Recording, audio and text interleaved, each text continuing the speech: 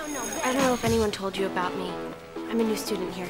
My name is Cady Heron. Talk to me again and I'll kick your ass. Can you guys believe that Mean Girls came out 11 years ago? Although maybe someone should tell that to Lindsay Lohan's face, am I right? Yeah. God, now that I'm looking at that, are we sure it's only been 11 years? Well, let's not dwell on a decade's worth of poor choices and squandered opportunities, and let's dive into an extra mean episode and run down seven things you didn't know about Mean Girls. Probably. There are no rules in this house. I'm not like a regular mom. I'm a cool mom. You know how Amy Poehler plays Regina George's mom in the movie? Well, you probably didn't know that based on their real life ages, Regina's mom is actually only seven years older than she is.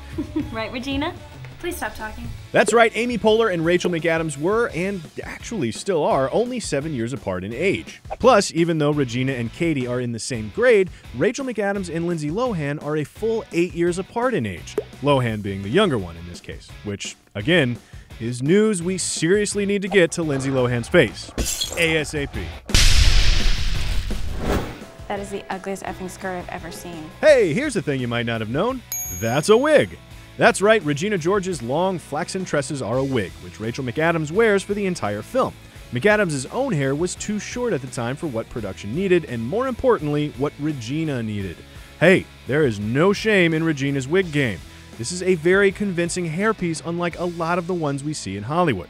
I'm talking to you, John Travolta.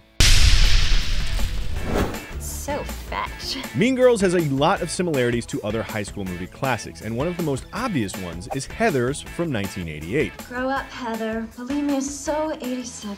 But most people don't know that the relationship between Mean Girls and Heathers is a fairly literal one. Mark Waters directed Mean Girls, while his brother, Daniel Waters, wrote Heathers. So the next obvious step is for them to do a mashup sequel together called Mean Heathers 2 Electric Boogaloo. Sadly, that obviously will never happen. But there is supposed to be a Mean Girls Broadway musical in the works. So that's something. Mean Girls wound up with a PG 13 rating, but it was meant to be a lot raunchier than it is. The filmmakers had to make a lot of sacrifices with the script because the MPAA gave them such a hard time. For one thing, the line, is your muffin buttered, was supposed to be much more risque and much more on the nose. Originally, the line was, is your cherry popped? And that girl who made out with a hot dog? Oh my god, that was one time! Well, originally she was supposed to have masturbated with a frozen hot dog. After all, I'm not sure how you make out with a hot dog, but I for damn sure know how to fuck one. No explanation, next thing. Despite not really being a character in the film, Glen Coco is definitely a favorite reference amongst Mean Girls fans. Glen Coco?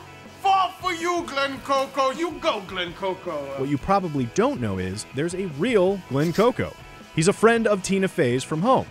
And the guy who plays the back of Glen Coco's head is also, of course, real, and his name is David Reale. And he's on Twitter and everything. So there. Remember how Mr. Duvall wears that cast for his carpal tunnel syndrome? Well, that only ended up being written into the script because Tim Meadows really had to wear that cast all throughout filming.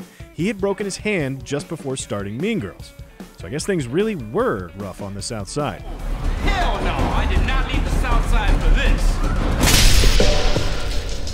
this. Cady, will you please tell him his hair looks sexy pushback? Regina George is a sociopath. She's evil, she's manipulative, she's cruel, and she's based on Alec Baldwin.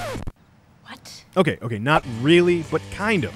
Mean Girls director Mark Waters had Rachel McAdams watch Glengarry Glen Ross in preparation for her role as Regina George. Specifically, he wanted her to take note of Alec Baldwin's performance, like in the famous Always Be closing speech. You hear me, you fucking faggots? You know, I'm definitely seeing the similarities now. Oh, you know, another Alec Baldwin thing that would have been good inspiration for Regina George? So I'm gonna let you know just how I feel about what a rude little pig you really are. You are a rude, thoughtless little pig, okay? On that note, let's wrap this up. If you have another high school movie that you'd like us to cover, leave your nominations down in the comments. You know, Clueless, Dazed and Confused, stuff like that. Thanks for watching, and be sure to check out Cinefix.com and subscribe for more truish things about movies, and sometimes the right way to f a hot dog, right here on Things You Didn't Know.